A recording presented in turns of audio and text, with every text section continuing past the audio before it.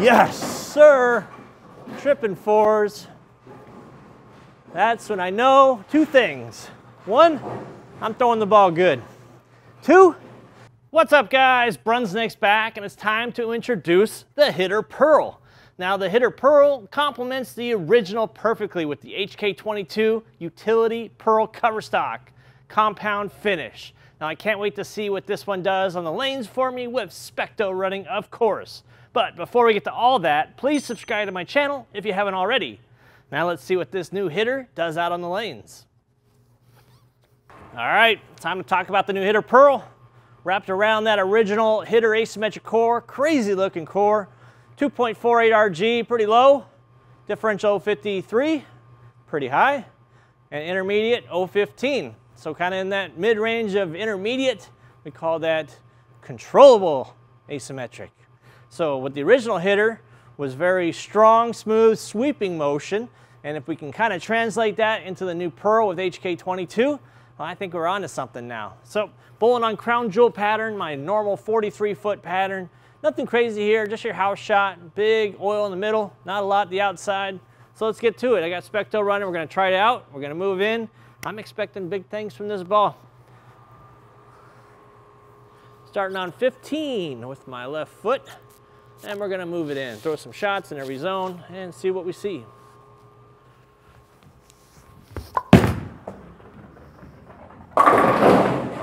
Okay. Four pin out of the gate. Now the one thing that I think everybody has noticed with HK22 bowling balls, and we put that stuff on everything, is that the traction the oil.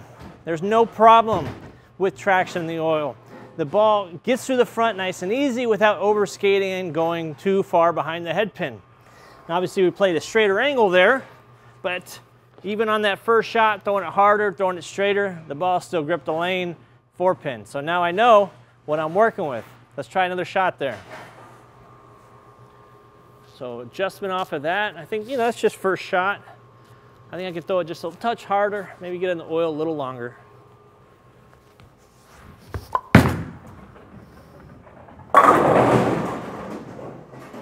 But it's hard. That was the opposite of senior carry. Mind you, this shirt, I wanted to get the likeness of Phil just right, but just enough different that he can't come at me for likeness rights. So, senior carry, now you know the secret of who this guy is. So, a little bit of speed, a little bit more oil was just the ticket, the change from four pin to dead flush. Let's throw one more shot there. I like this ball. I like single color bowling balls, old school, gold logos. Yep. Oh, man. All right. Wrap 10, what are you going to do? I mean, I know what I'm going to do. I'm going to move it in. Whenever I get these pearl bowling balls that are inherently a little more skid flip, got that sweeping motion on the back end, I want to get in and hook it. I don't want to play straight with a ball like this. I want to wait for the friction to develop, move in and bank off of that friction. So we're moving five, I'm on 20 now. And we're gonna see, I think this is gonna be a really good zone for this ball.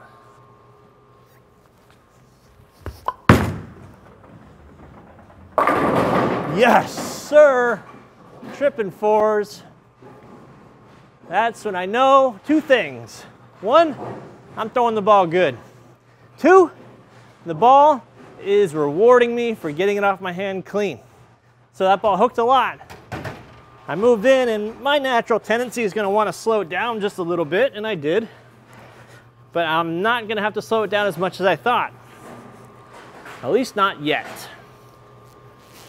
That ball did all sorts of good things.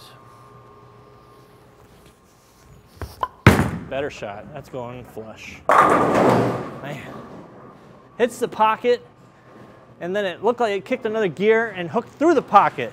Almost left a nine pin. Nine was the last to go, looked like. But so far, so good with this hitter pearl. I'm liking it. Let's start moving a little bit more because I'm a little eager to get further left.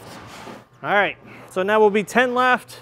First two zones, no problem see what this utility Pearl HK22 is all about. All right. That is insane. That ball is just a heat seeker for that eight pin. I don't think I'm gonna leave an eight pin with this ball just because the ball is hooking so much through the pins that it's taking it out. It's not relying on pin action to take it out. The ball is actually taking out the eight. So far, I'm really excited for this ball. Let's throw one more shot here.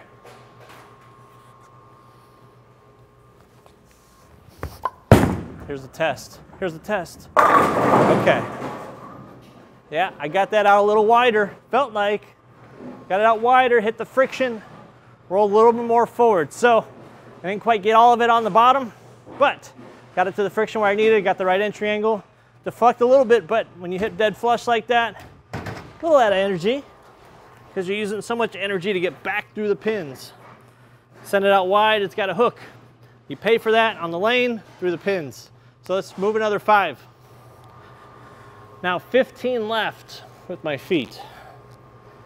Now we're covering some oil. Now we're opening up our angles. Can it do it? Yep. Man, still four pin. This is a good sign. Whenever I leave four pins when I start moving in, that means the ball has no problem reading the spot and changing directions. That's an easy adjustment for me, much easier than say if I'm leaving a flat 10 or whatever. You know what I mean? So I know the ball is doing a lot of work. I know the adjustment I need to make.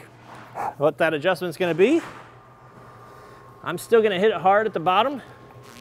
I'm just going to try to get it down the lane a little quicker. Just a touch more speed, I think.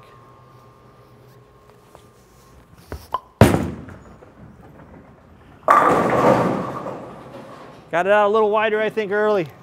I mean, so far, it's holding its own as we're moving in. This is a ball that you can use shiny. You can rough it up with surface if you're a little more speed dominant. I would say if you're speed dominant, you probably shouldn't have that many shiny balls in your bag. But as the lanes start to transition and you start seeing a lot more friction, then shiny's the way to go sometimes. Let's throw more shot there. I think I can make the right adjustment here. So four pin flush, but not as crazy back endy. Maybe. Got that in a little bit more. Look at that hitting power on the back. It's insane. That four pin, I think it was, kicked across the deck. Wave sayonara. So, once again, opposite of senior carry with this ball. All right, we got one more adjustment to make. And that is five more left, maybe 20 left. The end of the road. All right. I'm just gonna bring the speed down and see if I four pin again.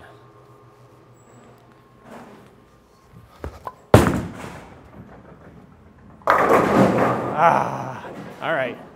Kind of found the end of the road a little bit there where I got that speed down, but I didn't see that early check like I have been seeing in other zones. You know, once we change our launch angle that far, then we start seeing difference in ball performance. So that tells me right there that I need to bring the speed down and get around the side of it more. I need it to tip harder. So let's make it. Let's make it.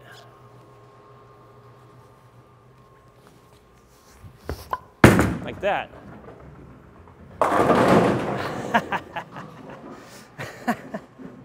oh, I trip a lot of four pins to this ball. I'm liking it. I don't normally trip a lot of fours, but when I do, that ball stays in my bag. I can tell you that much. So far in, looks pretty good. I'm gonna move it back right a little bit.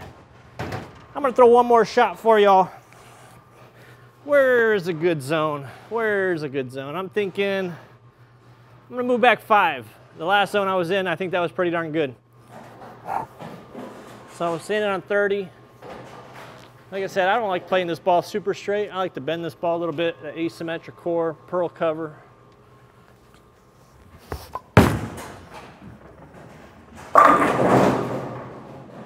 What a ball. I think this is going to be a ball that we see quite a lot of honor scores with. I know the league season, fall season is just upon us. This is a player's ball. This is a ball that I think is going to be highly sought after and a lot of high scores shot with. So that's all for my take on that new hitter Pearl. I think Phil got it right. He's excited about this one. I'm excited about it too. Check out the merch on Inside Bowling. You can get your own Phil look-alike here with Senior Carry. Talk to you guys soon on another video. Please subscribe. It really helps out. See you guys soon.